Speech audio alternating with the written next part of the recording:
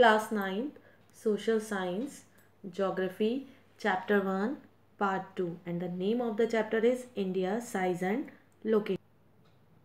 Now we are discussing about the India's coastline. India's coastline is of about 7516.6 kilometers means the India has a coastlines that that is 7516.6 kilometers. India's coastline is these these are the india's coastlines.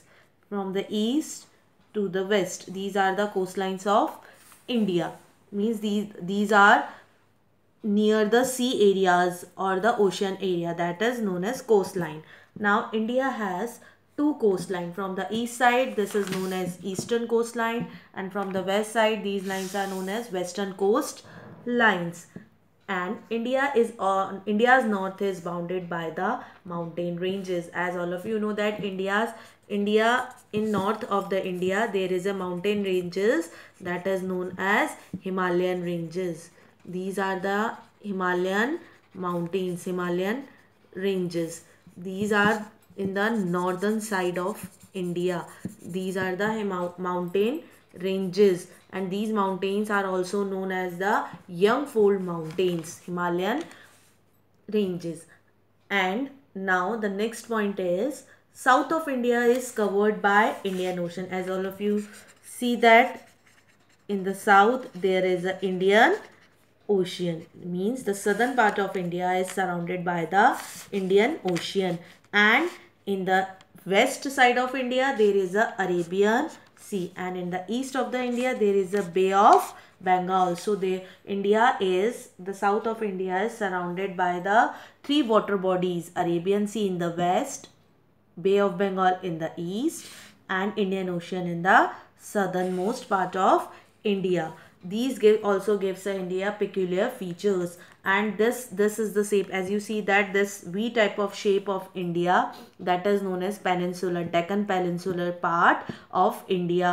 It is known as peninsular why it is known as peninsular? Here next question is why it is known as peninsular?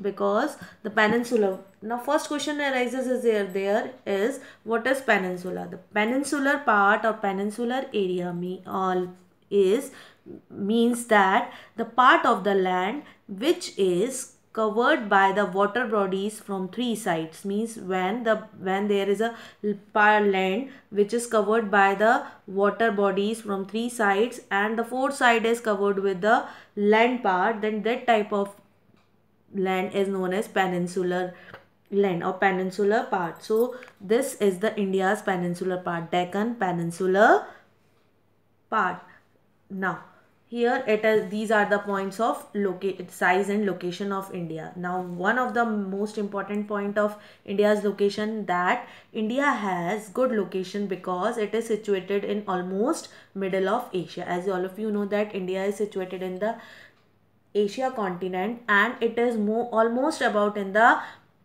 mid of the Asian continent and it occupies biggest coastline in the Indian Ocean. That gives India a peculiar feature means India is easily connected with another countries and continents. Means due to this biggest coastline in Indian Ocean India is easily connected with other countries and continents for their businesses not from that these days but from the ancient times. For example i am giving you example clear this to you by example. For example from west coast means from the western side. West coast west coast we are easily or india is easily connected with countries like in the west in the western side of the India, the countries are Europe, West Asia and Africa. Whenever you see the world map, you can see easily see that the Europe, West Asia and Africa are in the western side of the India. So these countries are easily connected with India due to our coastlines. Now next point is from east coast means from eastern side we are easily connected with east asian countries and islands. So there are so many east asian countries in the eastern part of india and islands. These countries are also connected with these coast lines. These coastlines also provides India a good business or economic deals from the Asian times till now. Due now next point is due to the land routes of India, our spices are famous. As all of you already know that our India is famous from